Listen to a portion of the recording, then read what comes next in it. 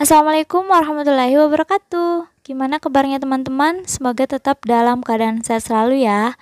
Video kali ini akan membahas tentang tips trik soal deret bilangan yang keluar pada soal SKD CPNS tahun 2021.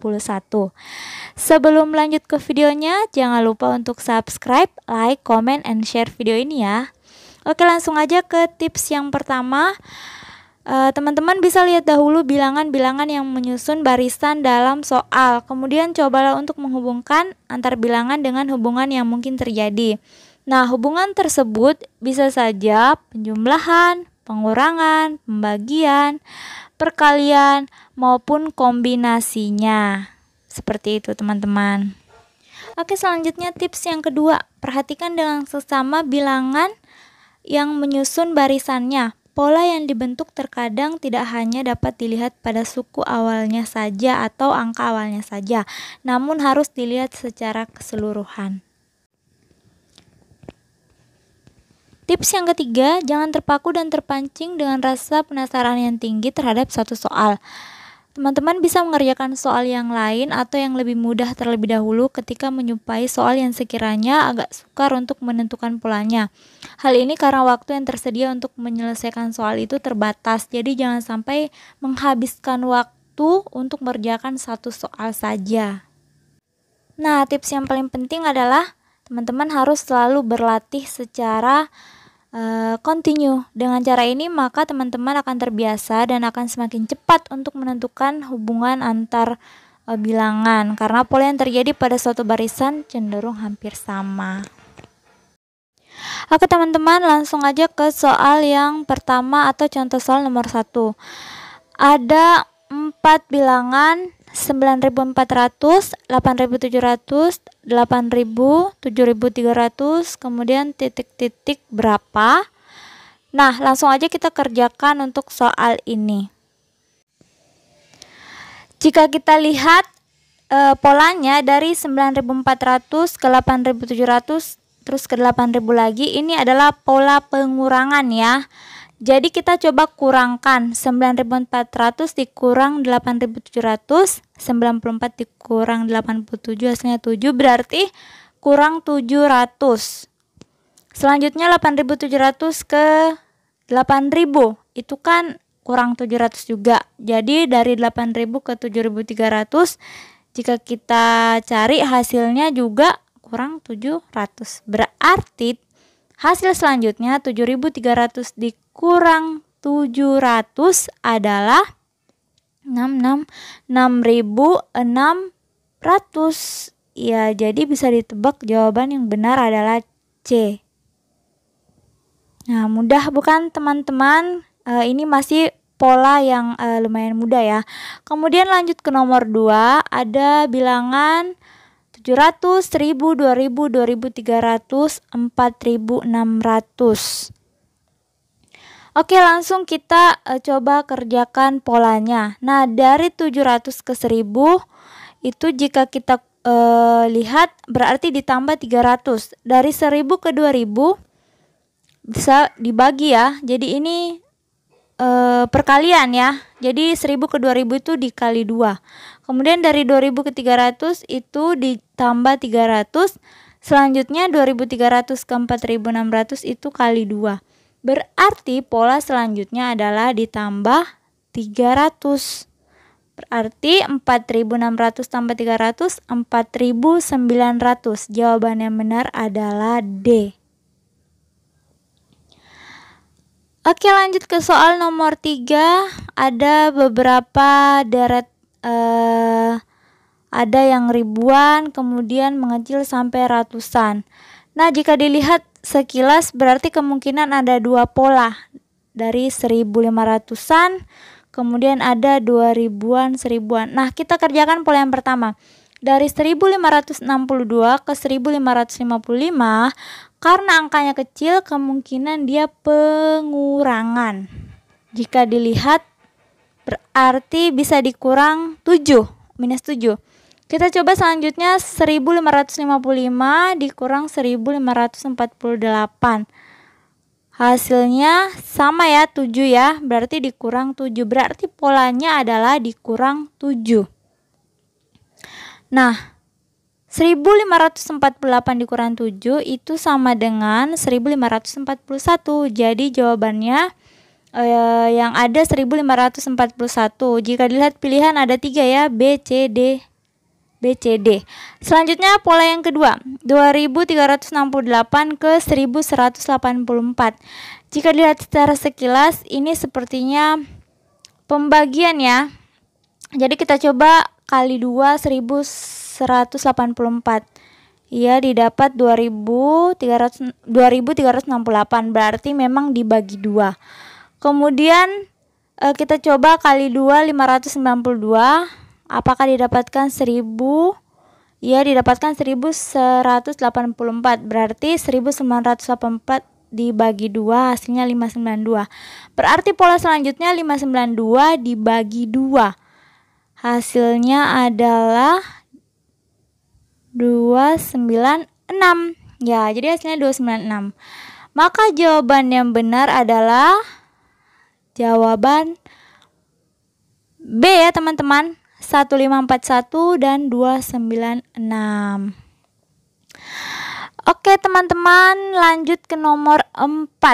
Jadi nomor 4 eh, ada deret eh, ratusan dan eh, ribuan sampai puluh ribuan ya. 30 ribuan. Oke, lang langsung kita uh, coba cari tahu polanya. Nah, kira-kira dari 255 ke 510 itu karena angkanya uh, lumayan jauh berarti dia kemungkinan adalah perkalian. Jadi coba kita kali 2 2 10 5 ya. 2 kali 2 4 tambah 1 5 Iya jadi 255 kali 2 didapatkan 510 berarti polanya kali 2 nah dari 510 ke 1530 kemungkinan jika dilihat secara sekilas 5 kali 3 15 kemungkinan dikali 3 ya. 510 kali 3 1530 benar berarti di polanya dikali 3 selanjutnya kita coba kali 4 ya karena lebih jadi lebih banyak. 1530 kali 4 6 120 Iya benar ya 6 120 berarti kali 4 Pasti selanjutnya kali 5 Terus selanjutnya lagi kali 6 Berarti jawabannya 30.600 kali 6 6 kali 6 36 6 kali 0 Tambah 3 6 6 kali 18 Berarti Jawaban yang benar adalah 183600 yang manakah yang benar? Yang benar adalah A. 183600. Oke, selanjutnya kita masuk ke contoh soal nomor uh, eh, 5 ya, teman-teman. Oke, jadi nomor 5 ada angka dari uh, banyak sekali nih ya. Ratus ribuan, puluh ribuan, ribuan, uh, ratusan. Kemudian pilihannya puluhan ya. Nah, untuk pola seperti ini uh, sebaiknya kita kerjakan dari uh, belakang ya karena angka di depannya mungkin terlalu besar, kita coba dari belakang. Nah, dari 1408 ke 352 kira-kira itu uh, pembagian ya, nggak mungkin pengurangan. Pasti dia pembagian. Jadi coba kalau dibagi 4 berarti 352 kali 4 didapatkan 1408 ya. Berarti memang dibagi 4. Selanjutnya dari 5632 ke 1408 apakah itu juga dibagi 4? Kita coba uji 1408 kali 4 hasilnya 2 3 16 5 berarti 5632 benar ya dibagi 4 juga. Kemudian dari 5632 coba kita kali 4 8 2 5 2 2 ya. Oke, berarti hasilnya sama ya. 22 5 28 dibagi 4. Berarti polanya semua dibagi 4. Nah, untuk mendapatkannya langsung aja. 352 dibagi 4. Berarti berapa ini? 8 32 32 8 8 berarti pola selanjutnya 88 88 bagi 4 sama dengan 22 Oke jadi sudah bisa ditebak. Jawaban yang benar adalah E. 88 dan 22 Selanjutnya nomor 6 ada uh, satuan, puluhan, ribuan, ratus ribuan. Langsung kita kerjakan ya. Dari 5 ke 5 ini kali 1. Kemudian 5 ke 10 kali 2 ya. Kemudian dari 10 ke 30 kali 3. 30 ke 120 kali 4. Berarti polanya kali 5 kali 6 kali 6 3600 kali 6 kali 7 kali 8 Nah, ini polanya gampang ya. Berarti kali 9 dan selanjutnya kali 10. Berarti gampang ya.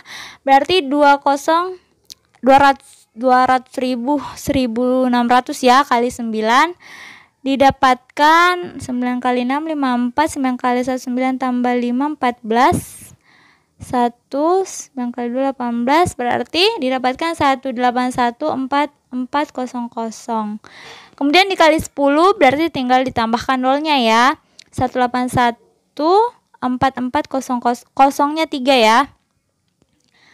Jadi sudah dapatkan jawabannya, kita langsung lihat pilihan. Maka pilihan yang benar adalah E. Yang benar adalah E ya teman-teman. Oke, jadi seperti itu soalnya. E, jadi kita harus kreatif menemukan polanya. Jika sudah menemukan polanya, maka akan e, lebih memudahkan menemukan jawabannya. Ya, jadi e, semoga soal-soal yang keluar dalam tes SKD teman-teman itu adalah soal-soal yang teman-teman pernah pelajari. Dan deret-deret yang keluar semoga polanya yang teman-teman e, pahami dan mudah dikerjakan. Oke teman-teman, sampai di sini dulu video kali ini. Semoga videonya bermanfaat. Sukses selalu untuk teman-teman. Semoga jadi ASN tahun 2021. Sampai bertemu di video selanjutnya. Wassalamualaikum warahmatullahi wabarakatuh.